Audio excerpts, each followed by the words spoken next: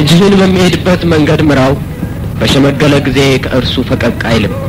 ምሳሌ ሀያ ሁለት ቁጥር ስድስት ይህ ሂድና የሠራሁልህን መስክር ተብሎ በኢየሱስ ክርስቶስ የተሰጠኝን ትእዛዝ በመቀበል የቀረበ ታላቅ ግሩምና ምስጢራዊ የሆነ የእግዚአብሔር ሥራ ታሪኬ ነው። አንድ ሰው መጥፎ እድልን እንደ የተወሰነ የእድል ሥራ አድርጎ ሊወስድና በመሆኑም የሕይወታችንን ክንውኖች መለወጥ እንደማንችል አድርጎ ሊያስብ ይችላል። ለተወሰነ ደረጃ ያህል ይህ እውነት ነው። የእግዚአብሔር ልጅ ክርስቲያንን አስመልክቶ ግን ሕይወቱ በቅድ ያለች ናት። ምሳሌ 16 ቁጥር 9 የዚያ ዕቅድ መሟላት ወይም አለመሟላት ግን በአንዳንድ ምክንያቶች ላይ የተወሰነ ይሆናል። ይኸውም የግለሰቡ ወደ እግዚአብሔር መቅረብ፣ የግለሰቡ ስለ ሕይወት ፍጻሜ ያለው አመለካከትና ግለሰቡ የሚኖርበት ህብረተሰባዊና መንፈሳዊ ሁኔታዎች ናቸው። የሕይወት አቅጣጫ አንዳንድ ውጫዊ ከሆኑ ነገሮች ግጥሚያ ይደርስበታል። ውድቀቱ የሚሆነው ግን በአንድ ወይም በሌላ መንገድ ፈቃድህን ስትሰጥ ነው። ይኸውም ለመልካም ወይም ለመጥፎ፣ ለመውደድ ወይም ለመጥላት፣ ለማወቅ ወይም ላለማወቅ ነው። የመታዘዝ ፈቃደኝነት አዲስ ለተወለዱ ክርስቲያኖች ታላቅ ኃይል ሲሆን ያለመታዘዝ ደግሞ ኃጢአተኞችን የማጥፊያ ኃይል ነው። አንድ ሕፃን ብቻውን ሲተው ከሁለት ኃያላት በአንዱ ቁጥጥር ስር ይውላል። ይኸውም በጥሩ ወይም በመጥፎ፣ በትክክል ወይም በስህተት፣ በእግዚአብሔር ወይም በዲያብሎስ ነው። እያንዳንዱ ሰው ከነዚህ ከሁለቱ የሕይወት ኃያላት ግጥሚያ ይኖርበታል። ስለዚህም በየትኛው መኖር እንዳለበት መምረጥ የእርሱ ፋንታ ነው። መጽሐፍ ቅዱስ ልጅህን በሚሄድበት መንገድ ምራው፣ በሸመገለ ጊዜ ከእርሱ ፈቀቅ አይልም ብሎ የሚናገረው ለዚህ እንደሆነ አምናለሁ። መቼም ለአንድ ሕፃን ልጅ ልብ እጅግ ውድና ቅርብ የሆነችው እናቱ እንደሆነች ሁላችንም እንስማማለን። እናትና አባት የሌላቸው ሕፃናት እናትና አባት ካለው ካላቸው ሕፃናት የበለጠ ለዲያብሎስ ውጊያ የተጋለጡና እድለቢሶች ናቸው። እናት የሰውነትና የነፍስ ጠባቂ ናት። ነገር ግን ሁለቱንም ላጣ ሐዘኑ እጥፍ ይሆናል። ውስብስብ በሆነ ሁኔታዎች ውስጥ ለገባ ደግሞ እጅግ የላቀ ይሆንበታል።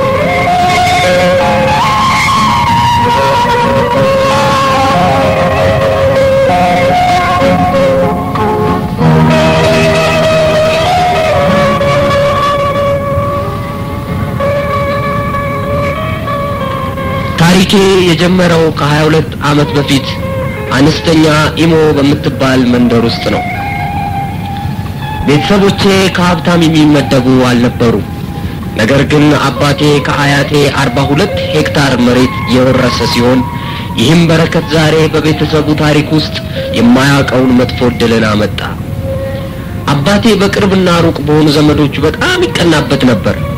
ይህም ለምን እንደሆነ ባላውቅም ምናልባት ሰፊ በሆነው በወረሰው መሬቱ ምክንያት ሳይሆን እንዳልቀረ ገምታለሁ።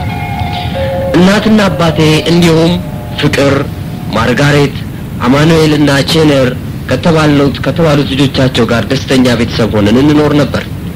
ወላጆቼ ሁለቱን ሴቶች ልጆች ከወለዱ በኋላ እኔ የተወለድኩት አስራ አራት ዓመት ቆይቶ ሲሆን በቤተሰብ ውስጥ ብቸኛ የሆንኩ ወንድ ልጅ ነበርኩ። ከኔም በኋላ ታናሽቴ ቼነር ነበረች። ይህም ለቤተሰቡ እውነተኛ ደስታን አመጣ። ነገር ግን ይህ ደስታን በጣም በምወዳት በምትሳሳልኝ በነበረችው እናቴ ሞት ምክንያት ረጅም አልሆነልንም። እናቴ ሞተችው በጠንቋይ ምክንያት እንደሆነ ተደርጎ ይነገራል። ከአራት ዓመት በኋላ አባቴ ሲሞት እንደገና ጂዶ ተብሎ በሚጠራ የጥንቆላ ስራ ላይ ሰይጣን ተናዶበት እንደገደለውም ተወራ። ከወላጆቼ ሞት በኋላ ሁለት ዓመት በኋላ የመጀመሪያዋ ታላቅ እህቴ ፍቅር የት እንደደረሰች በማይታወቅ ምስጢራዊ አጠፋፍ ስትጠፋ ከእርሷ ቀጥላ ያለችው ማርጋሬት ደግሞ አበደች። ይህ ሁኔታ ደስተኛ መሆን በሚገባው ቤተሰብ ላይ እንደ ሰንሰለት የተያዘ ሐዘንን አመጣ። ትምህርቴን ጨርሼ አይተም ሁለተኛ ደረጃ ትምህርት ቤት ውስጥ ገባሁ። ቀጥሎም እስከ ሶስት ክፍል ድረስ ከተማርኩ በኋላ ለትምህርት ቤት የምከፍለውንና ለሌሎች ጉዳይ የሚሆነኝን ገንዘብ በማጣቴ ትምህርቴን አቋረጥኩ። ብዙም ሳይቆይ አያቶቼ ሞቱ። የቀብሩ ስነ ስርዓት ከተፈጸመ በኋላ የማላቃቸው ዘመዶቼ ታናሽ እህቴን ቼኔርን ወሰዷት። እስከ ዛሬ ድረስ የት እንዳለችም አላውቅም። ከከፍተኛ የእንክብካቤ ጉድለት የተነሳ ወደ አባቴ ቤት ተመልሼ በአስራ ሶስት አመቴ ብቻዬን ለመኖር ተገደድኩኝ። በእውኑ የአስራ ሶስት አመት ልጅ እንዴት ብቻውን በአባቱ ጠላቶች ከዚያም ደግሞ በራሱ ጠላቶች መካከል ሆኖ ራሱን እየመገበ ሊኖር ይችላል? በጣም ፈራሁ። እነዚህ ሁኔታዎች ዋጋ ያለው ኑሮ ከእንግዲህ ወዲህ ልኖር እንደማልችል አድርገው አሳዩኝ። አንድ ቀን በአንደኛ ደረጃ ትምህርት ቤቴ ሳለሁ ጓደኛ የነበረው ቼንዱ የሚባል ልጅ አገኘው። ቼንዱን በጣም ይወደኝ ነበር። የደረሰብኝም ሁኔታ ሁሉ ስለሰማ ወደ ቤተሰቦቹ ወሰደኝ። እነሱም ዝግጁ ሆነው ተቀበሉኝ። እንደ ሁለተኛ ልጃቸውም አደረጉኝ። ሕይወቴ እንደገና ወደ ትክክለኛ ሁኔታ መጣ። በጥንቃቄም ተያዝኩ። እንደገናም ደስተኛ መሆን ጀመርኩ። ያኔም እናቴ በሕይወት ሳለች ወደ እርሱ የጸለየችለት አምላክ አንድ ቦታ እንዳለና ስለዚህም ይህንን አዲስ ቤተሰብ እንደሰጠኝ አወቅኩ ብዬ በአእምሮዬ ወሰድኩ። ይህንን መልካምነት ለሁለት ዓመት ያህል ከተደሰትኩበት በኋላ እንደገና ሰይጣን አፈረሰው። ቼንዱም ቤተሰቦቹ ወደ አሞኒያ በሚባል ስፍራ ሲጓዙ በመኪና ቀይ አፈር ከጫነ tipper ጋር ተጋጭተው ወዲያውኑ ሞቱ። ይህንን ዜና ስሰማ ተዝለፍልፌ ወደቅኩ። ሐዘኔንም በይበልጥ እናንተ ልትገምቱልኝ ትችላላችሁ። ከቀብሩ ስነ ስርዓት በኋላ መጽናናት ቻልኩኝ። ለሚቀቅሉ ሰዎች እንጨትን በማቅረብና በመላላክ ካገለገልኩ በኋላ መጨረሻ ወደ አባቴ ቤት ተመልሼ ራሴን ለመመገብ የአሽከርነት ስራን መስራት ቀጠልኩኝ። አስቸጋሪ የሆኑ ስራዎችን በእርሻና በአታክልት ቦታዎች ቀኑን ሙሉ ተጉዤ ከትላልቅ ሰዎች ጋራም ደግሞ አሳ ማጥመድ ቀጠልኩ። ከምኖርበት አካባቢ አንድ ሰው በእርሻው ላይ በቀን ሀምሳ ሳንቲም እየሰጠኝ እንድሰራ ቀጠረኝ። በእርሻው ቦታ ላይ ሆነን የሚከተሉትን ጥያቄዎች እንድመልስለት ኮስተር ብሎ አቀረበልኝ። መጀመሪያ አባቴን መሬት እንዳሳየው፣ ቀጥሎም ከዚያ መሬት ላይ ደግሞ እንድሰጠው፣ በሶስተኛም ደረጃ ቀኑ ሙሉ ከሰራሁለት በኋላ ደሞዜ በእርሱ ቤት እራት መብላት ብቻ እንደሚሆን ነገረኝ። በመጀመሪያ ደረጃ እንዴት የአስራ ሶስት ዓመት ልጅ የአባቱን መሬት ያውቃል? በዚህ አይነት እድሜ ምንም ያህል ቅርበት ቢኖራቸው ለሌላው ሰውስ አሳልፎ ለመስጠት ምን መብት ነበረው? በመሆኑም የሰውየውን ጥያቄ ተቃወምኩኝ። እርሱም ተናደደ። ከዚያም በኋላ በዚያ ጫካ ውስጥ እንደሚገድለኝ ከልቡ ተናገረኝ። እኔም ፈራውና በመጮህ እርዳታን እየጠየቅኩኝ ሮጥኩኝ። እንደ አጋጣሚ ቦታው ጥቅጥቅ ካለ ጫካ ውስጥ ራቅ ብሎ ስለነበረ ማንም ሊረዳኝ አልመጣም። እርዳታ ግን ከእግዚአብሔር ዘንድ ሆነልኝ። በጩቤ ሊወጋኝ ሞከረ። ነገር ግን ወጣት ስለነበርኩ አምልጬ ስሮጥ አንድ ሜትር ከሰማንያ ሁለት ጥልቀት ካለው ጉድጓድ ውስጥ ወደቅኩኝ። በሳርም ተሸፈንኩኝ። ብዙ ፈለገኝ። ከዚያም ሊያገኘኝ ስላልቻለ ተስፋ ቆርጦ ሄደ። ቀጥሎ ከዚያ ውስጥ በትክል ከወጣው በኋላ በሌላ መንገድ ወደ ሰፈር ተመለስኩ። ይህንንም ጉዳይ ለሰፈር ሽማግሌዎች አመለከትኩ። ነገር ግን ሁልጊዜ እናትና አባት የሌላቸው ልጆች የሚገጥም የተለመደ ችግር በመሆኑ ምንም እርምጃ አልተወሰደልኝም ነበር። ይህ ሁኔታ እውነተኛ ጥላቻ በወጣቱ ልቤ ውስጥ ፈጠረ። ማንም አልወደደኝም። ማንም ስለ እኔ ግድ የሰጠው አልነበረም። ለምንስ ቤተሰቦቼ እንደሌሉ እያወቁ ሊገሉኝ ይፈልጋሉ የሚል ነገር በአእምሮ የተቀረጸብኝ። ሕይወቴ በችግር የተሞላች ሆነችብኝ። ከዚያ በኋላ በመንደራችን ወደሚገኝ ቤተ ክርስቲያን ተመልሼ የ Assemblies of God ቤተ ክርስቲያን ሙሉ አባል ሆንኩኝ። አሁንም የዛ ቤተ ክርስቲያን አባል ነኝ። ነገር ግን የቤተ ክርስቲያኑ አባላት በተለይም አንዳንዶቹ ስለ እኔ የሚያውቁ ሆነው ሊጠነቀቁልኝ አልወደዱም። እዚህ ላይ እንዲተኮርበት የምፈልገው ነገር የቤተ ክርስቲያኑ ሙሉ አባል የሆንኩት ኢየሱስ ክርስቶስን ሳላውቅ መሆኑ ነው። እንደገና መወለድ ማለት ምን ማለት እንደሆነም አላውቅም ነበር። ዛሬም በእንደዚህ አይነት ሁኔታ በቤተ ክርስቲያን ውስጥ ያላችሁ ሁሉ ሕይወታችሁን ለጌታ ለኢየሱስ ክርስቶስ እንድትሰጡት እመሰክርላችኋለሁ። ቃሉ እንዲህ ይላልና ነው እርሱ ስለ እናንተ ያስባልና የሚያስጨንቃችሁን ሁሉ በእርሱ ላይ ጣሉ። አንደኛ ጴጥሮስ ምዕራፍ አምስት ቁጥር ሰባት በዚህ ሁሉ ችግርና መከራ ውስጥ እያለሁ አሊስ ብቅ አለች። አሊስ በአንደኛ ደረጃ ትምህርት ቤት አብረን አንድ ወንበር ላይ ቁጭ ብለን የተማረንና በጣም የምንዋደድ ጓደኛሞች ስንሆን የአምስት ዓመት ዕድሜ ልዩነት የነበረንና የምትበልጠኝ ልጃገረድ ነበረች። በዚህ በሕፃንነት ፍቅራችን ባደግን ጊዜ እንደምንጋባ ሁሉ ቃል ተግባብተን ነበር። በዚያን ጊዜ አስራ አንድ ዓመት የነበረ ሕፃን በአምስት ዓመት ከምትበልጠው ልጃገረድ ጋር ያው ምንም ትምህርት ሳይኖረው የሚበላው አንዳች ሳይኖረው ለጋብቻ ቃል ኪዳን ማድረጉ የሚያስደንቅ ነበር። ከዚያም በኋላ ናሊስ አኩሬ ወደሚባል ከተማ ለሁለተኛ ደረጃ ትምህርቷ ሄደች። እዛም እያለች ብዙ የፍቅር ደብዳቤዎችን ተለዋውጠን ነበር። ዳግመኛ ከአሊስ ጋር ስንገናኝ እኔ አስራ አምስት እሷ ሀያ ዓመት ሆነን ነበር። እሷ የሁለተኛ ደረጃ ትምህርቷን ጨርሳ ቤተሰቦቿ በሚኖሩበት ሌጎስ ከተማ በአንድ በታወቀ ባንክ ቤት ውስጥ ተቀጥራ ትሰራለች። አሊስ ከመጀመሪያ ጀምሮ ታውቀኝ ስለነበርና ችግሬንም የተረዳች ስለሆነ ይህንን በማስታከክ ፍላጎቷን አሟላችብኝ። አብረን እንደምንኖር ከነገረችኝ በኋላ በሌኮስ የሚገኘውን የቤት አድራሻዋንና ሀምሳ ብር ሰጠችኝ።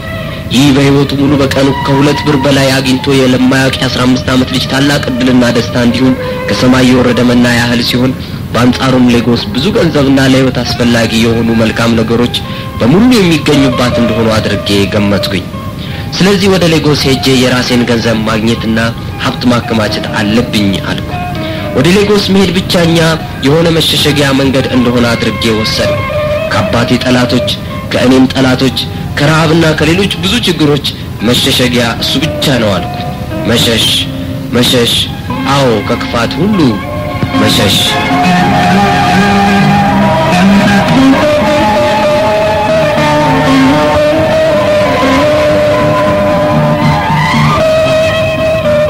አጀማመር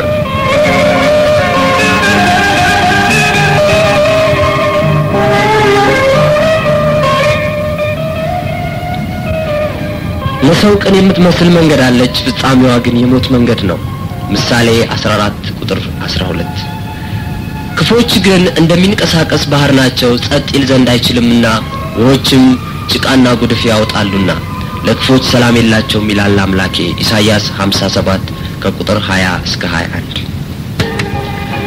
ታዲያ ሕይወትም ከኢየሱስ ክርስቶስ ውጭ ልክ በቃሉ እንደተጠቀሰው ነው።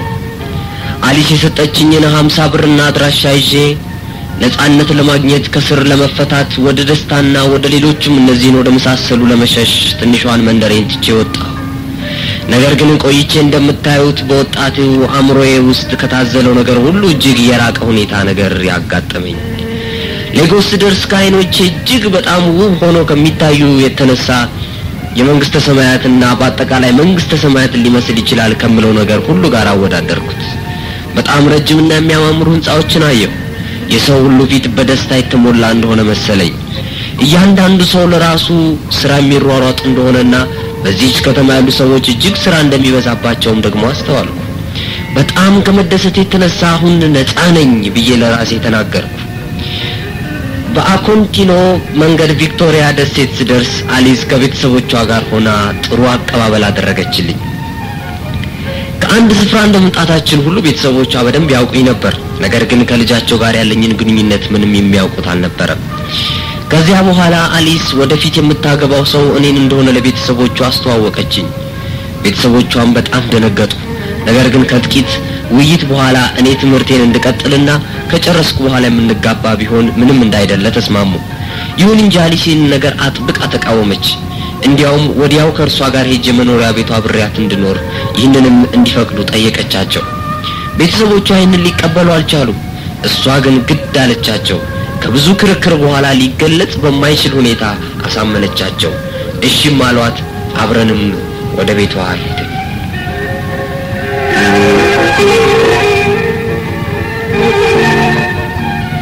በጣም ቆንጆ የሆነችው አሊስ በከተማዋ አንደኛ በነበረው ባንክ ቤት ውስጥ እንደምትሰራና እኔንም በጣም ሀብታም እንደምታደርገኝ ለሕይወትም አስፈላጊ የሆኑ ነገሮችን ሁሉ እንደምትሰጠኝ ነገረችኝ። አንድ ቀንም እንደዚህ አለችኝ። ብቻ ዝም ብለህ ራስህን አረጋጋና ተደሰት።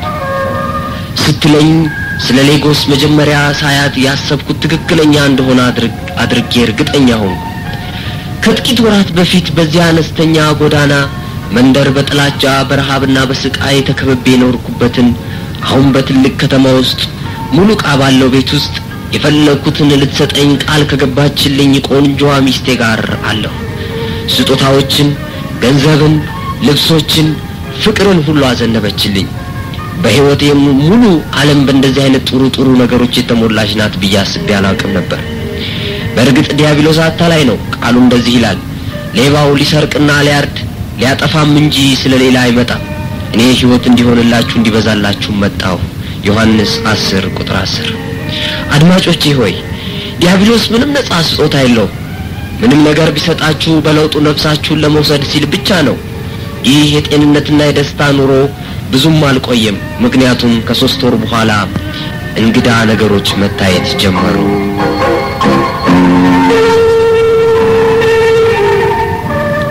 ሚስጥራዊ ልምምዶች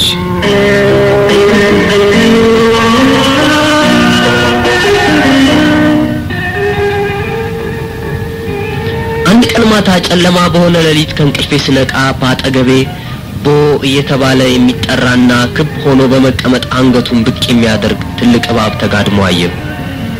ልጮህም ፈለግኩ፣ ነገር ግን አልቻልኩም። ሌላ ሌሊት ደግሞ ስነቃ የአሊስ ሰውነት በውስጡ አሳልፎ እንደሚያሳይ የዕቃ መያዣ ቦርሳ ሆኖ አገኘዋለሁ። ሌላ ሌሊት ደግሞ ስነቃ አንዴ ትጠፋለች፣ አንዴ ብቅ ትላለች።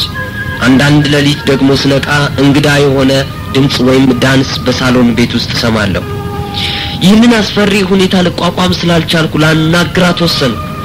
የመጀመሪያ መልሷ ቁጣና እንዲህ ያለ ከባድ ማስጠንቀቂያ ነበር።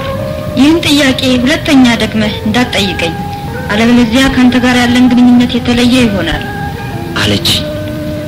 ከዚያም በኋላ ሕይወቴ በአደጋ ውስጥ እንደሆነች አወቅሁ። ይህንን ሁሉ ለማየት ከመምጣት ይልቅ በትንሿ መንደሬ ሆኜ የነበርኩበትን የስቃይ ኑሮ መረጥኩ። እጅግ አድርጌ ፈራኋት። ከሁለት ቀናት በኋላ ፈገግታ እያሳየችኝ አቀፈችኝ፣ ስጦታዎችንም ሰጠችኝ። በጣም አድርጋ እንደምትወደኝና እንደምትጠነቀቅልኝም ነገረችኝ፣ አጽናናችኝ። ሁኔታዎችን ሁሉ በኋላ እንደምትገልጽልኝ ነገረችኝ። ወደ አንድ የመዝናኛ የምሽት ክበብ ወሰደችኝ። እዚያም ሀብታም ልታደርገኝ ቃል የገባችልኝን አስታወሰችኝ።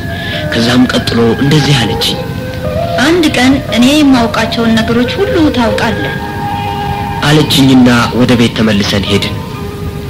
ሕይወቴም እንደ በፊቱ በትክክለኛነቱ ቀጠለ። ነገር ግን በውስጤ በአደጋ ውስጥ እንዳለሁ ተረዳሁ። እንዴት ላመልጥ እችላለሁ? ላምልጥስ ብል ወዴት እሄዳለሁ? እዚህ ላይ ሊተኮርበት የሚገባው ነገር የአሊስ ቤተሰቦች ወጣቷ ልጃቸው ኮስተር ብላ በጥንቆላና በርኩስ መንፈስ ስራ ውስጥ መዘፈቋን አለማወቃቸው ነው። እኔንም ሕይወቴን የምወዳት ከሆነ ይህንን እንዳልነግረባቸው ከባድ ማስጠንቀቂያ አስጠንቅቃኛለች። አድማጮቼ ሆይ የሀያ ዓመት ዓመት ልጃገረድ እነዚህን ነገሮች ሁሉ ታደርጋለች ብላችሁ ትገምታላችሁ? የውጭውስ ዓለም የሚያያት እንደ አንዲት ቆንጆና ጉዳት የማታደርስ በአንድ ትልቅ ባንክ ቤት ውስጥ የምትሰራ ልጃገረድ ሲሆን እሷ ግን የዲያብሎስ መልእክተኛ ነበረች። ስለዚህ አድማጮቼ ዛሬም በዓለማችን ብዙ አሊሶች አሉ።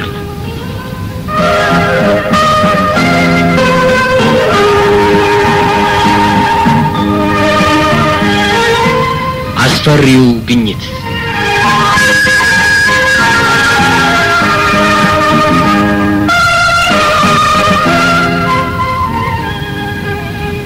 አንድ ቀን እሷ ስራ ከሄደች በኋላ በቤት ውስጥ ያለውን ነገር ለማወቅ እየተዘዋወርኩ ማየት ፈለግኩ። ወጣት እንደመሆኗ መጠን ቤቷ በደንብ የተያዘና ሁሉ ነገር የተሟላላት የሚያምር ነበር። አራት የማቀዝቀዣ ቤቶች ነበሯት። አንዱን ስከፍተው የሰው ጭንቅላቶች፣ የደረቀና ትኩስ የሆነ የሰው ስጋ አየሁ። በጣራው ውስጥ ደግሞ አጽሞች ነበሩ። በሌላው ወደ ጥግ በነበረው ክፍል ውስጥ የውሃ ማሰሮ፣ በውስጡ ደም፣ በመካከሉም ላይ ትንሽ ዛፍ ትንሽ ቅልና ቀይ ጨርቅ ጎን ሆኖ አየሁ። ከዚህ በላይ ልቀጥል አልቻልኩም። አሁን የሞተ ሰው እንደሆንኩ ራሴን አወቅኩ። ወዴትም ልሄድ እንደማልችል ሁሉ ለሚመጣው ለማንኛውም ነገር ሕይወቴን አስገዝቼ አፌንም ለጉሜ ሞትም ቢሆን ወይም ሕይወት መጠባበቅ ጀመርኩ። አሊስ ከመስሪያ ቤቷ ተመልሳ ስትመጣ በአስተያየቷ መስሪያ ቤት ሆና በቤት ያደረግኩትን ሁሉ እንዳወቀችብኝ ይገባኝ።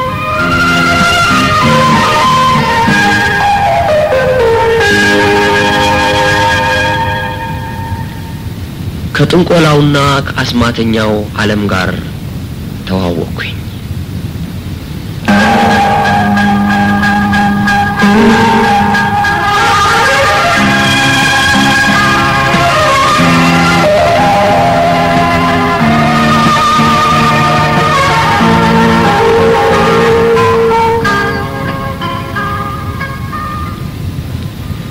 በሚቀጥለው ቀን ወደ አንድ ስብሰባ አብረን እንድንሄድ ጠየቀችኝ። መቼም አንድ እስረኛ ሆኛለሁና ሌላም አማራጭ ስለሌለኝ እሺ አልኳት። ከከተማው ወጣ ብሎ ወደሚገኝ አንድ ትልቅ ህንጻ ሄደን ስንደርስም የሚገባው ጀርባ ዙሮ እንደሆነ ነገረችኝ። ምድር ቤት ውስጥ ወደሚገኝ ትልቅ አዳራሽ በኋላ የገባሁ ከኔም በኋላ እሷም በዚያው አኳኋን ገባች። አዳራሹ በጣም ሰፋ ያለና አምስት መቶ ያህል ወንዶችና ሴቶች ክብ ሰርተው የተቀመጡበት ነበር። ከነርሱም በላይ ጭንቅላቱ ብቻ የሚታይ ነገር ግን የተቀረ ሰውነቱ የሌለው ሰው እንደ መሪ ሆኖ ተቀምጧል። ከነዚህ ሰዎች አንዳንዶቹ ተማሪዎች፣ አንዳንዶቹ ዩኒቨርሲቲ ለመጨረስ ጥቂት የቀራቸው፣ አንዳንዶቹ ደግሞ የዩኒቨርሲቲ ምሩቃን፣ አንዳንዶቹም መምህራንና የመሳሰሉት ናቸው። አሊስ በግድግዳው ያለውን ቁልፍ ስትጫነው ከወለሉ ውስጥ ወንበር ወጣና ተቀመጥኩበት። ለእርሷም እንዲሁ አድርጋ ሌላ ወንበር ወጥቶ ተቀመጠች። ከዛም ለተሳታፊዎቹ አዲስ አባል መሆኔን አስተዋወቀችኝ። እነርሱም በጭብጨባ ተቀበሉኝ። ይህንንም በማድረጓ አሊስ እድገትን አገኘች። በስብሰባው ወቅት ምንም ሊገባኝ ያልቻለን ነገር ተወያይተው በስተመጨረሻ ሌላ ጊዜ ብቻዬን እንድመጣ በመሪው ተጠይቄ ስብሰባው አበቃ። ይህ ነበር እንግዲህ ከአስማተኛው ዓለም ጋር የነበረኝ የመጀመሪያው ትውውቄ። በዚያኑ ሌሊት ልክ በስምንት ሰዓት አሊስ ከእንቅልፌ ቀስቅሳኝ አስደንጋጭ ነገሮችን ታጫውተኝ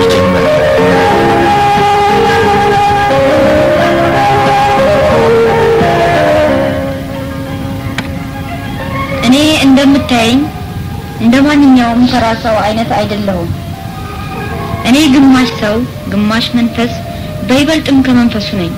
ከወደ ጥግ ባለው ክፍል የምታየው መናፍስት በቀኑ ውሎዬ እንዲመሩኝ በጠዋት ድግምቴ የምጠቀምበት ነው። ስለ አጽሞቹ ሌላ ጊዜ እነግርሃለሁ።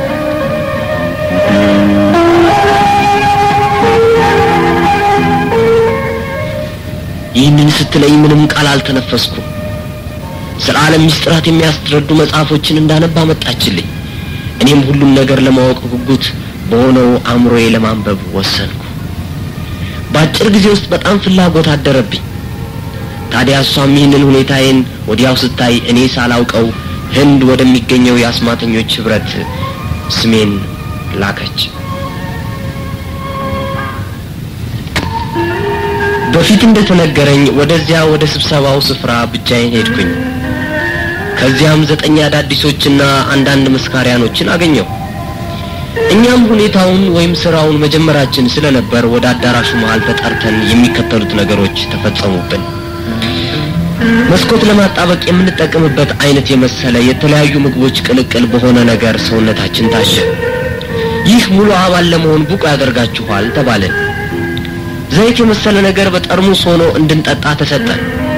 ይህ መልእክተኛ ለመሆን ብቁ ያደርጋችኋል ተባለን። በመጨረሻም ባሩድ የመሰለ ነገር በራሳችን ላይ ታሸ። ይህ ምስጢራቸውን ለማጥናት ይጠቅማችኋል ተባለን። አሁንም ታዲያ ልክ እንደ በፊቱ እኔ ሳላውቀው ይህ ያጀማመር ስነ ስርዓት በህንድ አገር ተመዝግቦ ኖሮ በማግስቱ ከእነርሱ ደብዳቤ ደረሰኝ።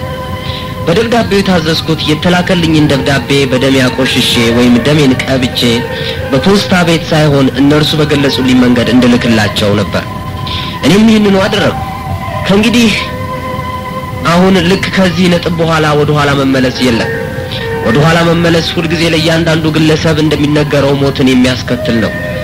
እኔ ምንም ተስፋ የለኝም ብዬ ጨርሻለሁና ሌላ ማድረግ የምችለው ስላልነበረኝ እነርሱ ያሉትን ፈጽም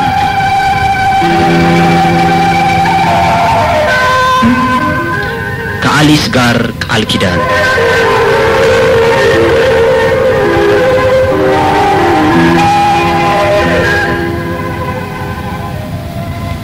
አንድ ቀን ማለዳ ጠዋት ቤት ውስጥ የሚፈጸም ጠቃሚ ስነ ስርዓት እንዳለ ነገረችኝ።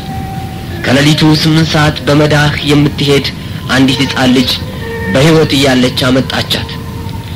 እያየኋትም አሊስ በጣቶቿ ደንቁራ የሕፃኗን ልጅ አይኖች ስባ አወጣቻቸው። የሕፃኗ ልጅ ጩኸት ልቤን ሰነጠቀ። ከዚያም ቆራረጠቻትና ደሙንም ስጋውንም በትሪ ላይ ዘርግፋ ብላ አለችኝ። እኔም ተቃወምኩ። እሷም ትኩር ብላ ስታይኝ ከአይኖቿ የወጡትን በቃል መግለጽ አልችልም። ሌላ ነገር ከመከተሉ በፊት ስጋውን ብቻ መብላት ሳይሆን ደሙንም ልሰው ጀመር። በዚህ ጊዜ እንዲህ አለችኝ።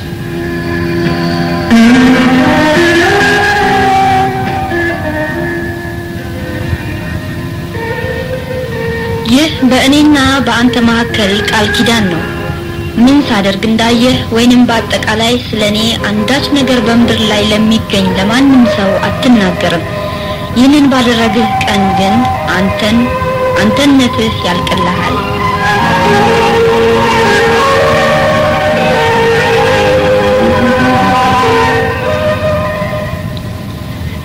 ይህንን ስትለኝ በጣም ፈራሁ። ማለትም ይህንን ባደረግኩ ቀን እገደላለሁ። ይህ ሁኔታ ከተፈጠረ በኋላ በውስጤ እንግዳ ስሜት ይኖረኝ ጀመር። ራሴን መቆጣጠር እስኪያቅተኝ ድረስ ተለወጥኩኝ። ለእናቶች የማስጠንቀቂያ ቃል የቤት ሰራተኞቻችሁን ታውቃላችሁ? የእርሷ ወይም የእርሱ መሰረቱ ምንድን ነው? የልጆቻችሁን ሕይወት